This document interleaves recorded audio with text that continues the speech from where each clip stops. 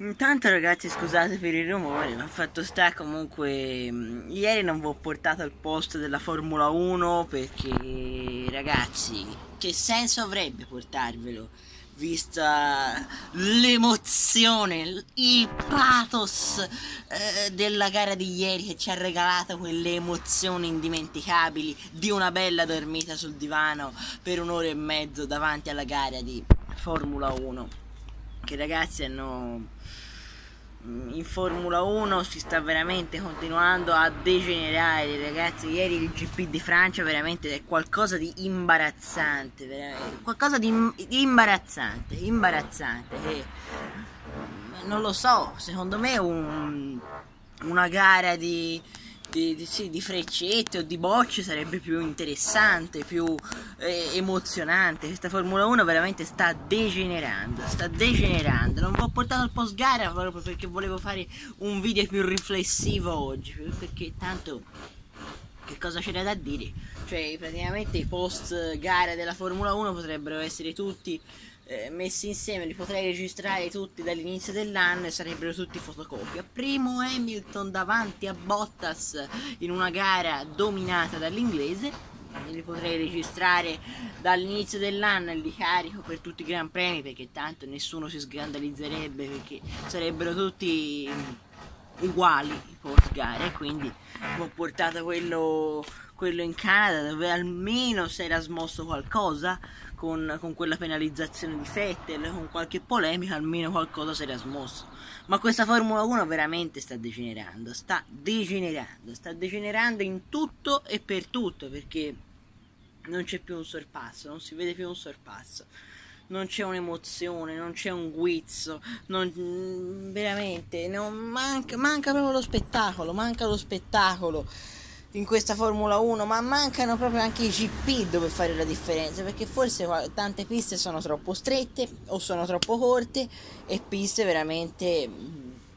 che favoriscono anche la Mercedes che continua ad andare a vincere, a vincere, a vincere, però sono dei circuiti veramente soporiferi che non, non, magari non ti permettono appunto proprio di sorpassare eh, altre macchine e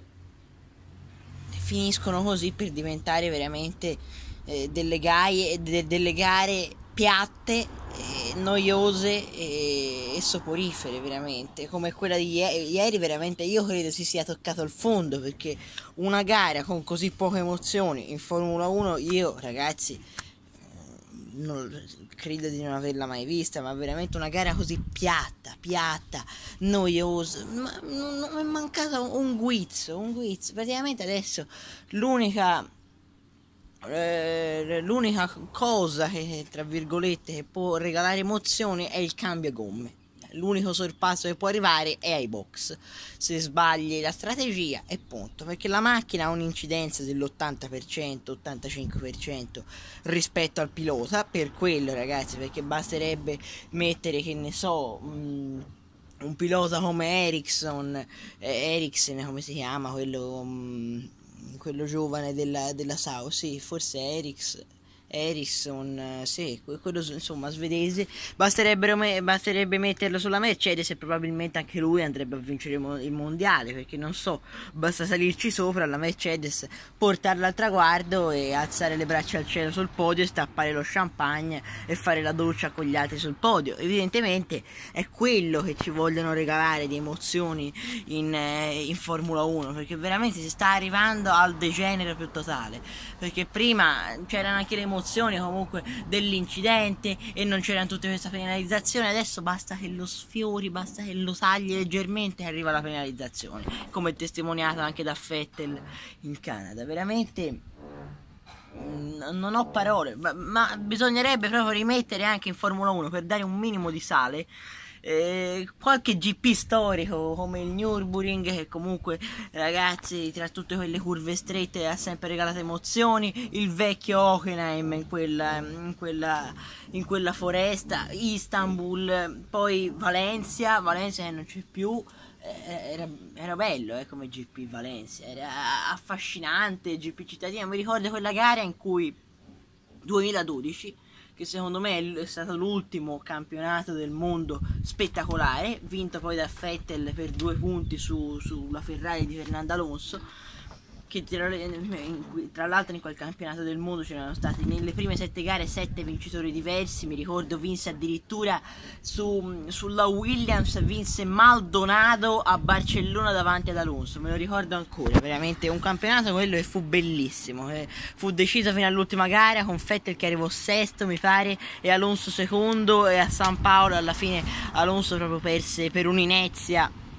il mondiale. Ma appunto ehm, basterebbe rimettere un po' proprio di GP del genere come Valencia. Vi stavo dicendo proprio a Valencia che tipo Alonso partì undicesimo tra proble- davanti tipo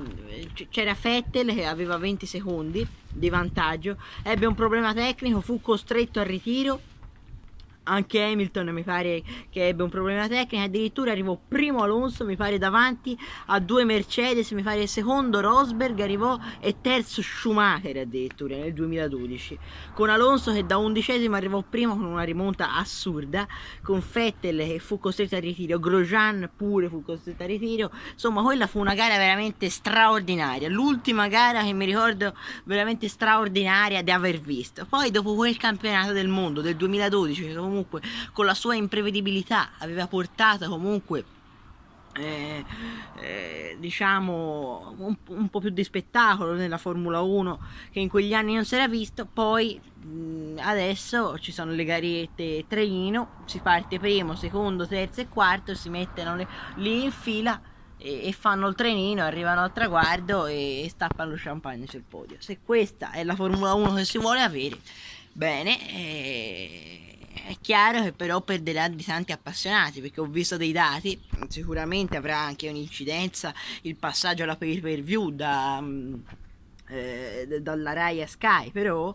la Formula 1 che prima aveva eh, in media 11 milioni, 12 milioni di spettatori, adesso negli ultimi anni ce n'ha 2-3 milioni è vero che adesso è a pagamento, però fatto sta, i, gli spettatori della Formula 1 sono molto diminuiti perché anche è calato l'interesse. Sicuramente i giovani non si appassioneranno a questa Formula 1 perché mh, mm, non c'è interesse, appunto, mentre la MotoGP sarà molto più spettacolare sempre della Formula 1 per la sua imprevedibilità che comunque appunto in Formula 1 in questo momento non c'è, non c'è uh, dal 2012 ma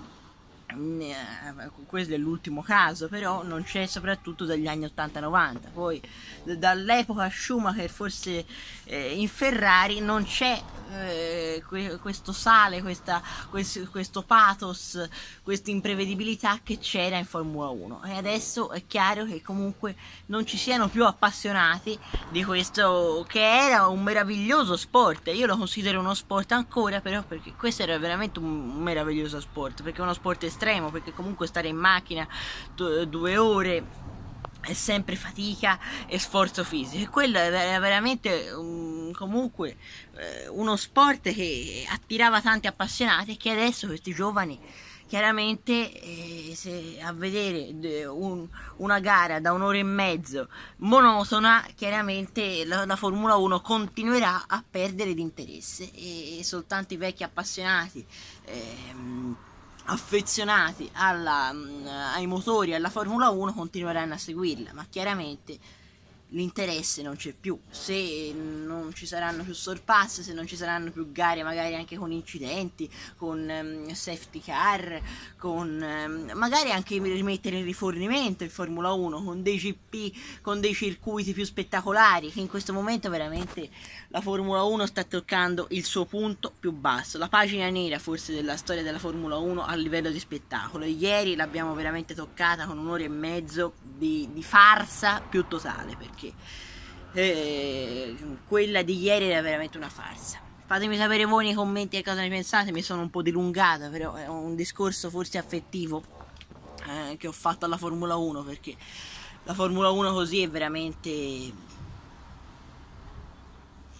insignificante, non ha assolutamente nessun significato portarla avanti così.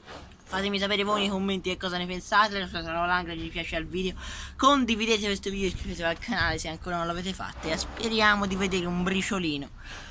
un barlume di, di, di spettacolo in questo campionato del mondo che mm, per ora di emozioni ci ha regalato soltanto le dormite domenicali sul, sul divano. E a questo punto arrivederci ragazzi al prossimo video.